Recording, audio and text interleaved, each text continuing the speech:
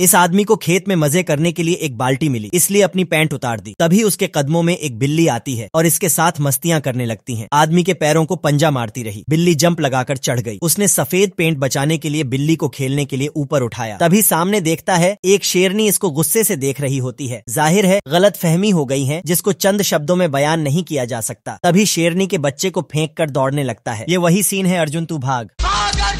लेकिन शेरनी इसको इतनी आसानी से जाने नहीं देगी। बहुत स्पीड से इसकी ओर पकड़ने के लिए आती है। इस समय पहाड़ के नीचे मौजूद सभी साथियों ने भी इसकी पुकार सुनी। उस आदमी को भागने के लिए पूरी तरह लुढ़कते और रेंगते हुए देखकर वहाँ मौजूद लोगों में किसी ने भी उसे बचाने के लिए आगे बढ़ने की हिम्मत नहीं की। आदमी बहुत थक गया था, लेकिन उसी समय शेरनी अचानक इसको अपना शिकार बना लेती है। शेरनी ने आदमी को रोलर की तरह घुमाकर फिर फेंक देती है। तभी आदमी बैग से एक सिरिंज निकाली। शेरनी ने जैसे जंप किया, वही सिरिंज उसके पेट में डूबा देता है। और आखिर में वही हरामी दोस्त इसके सामने आते हैं।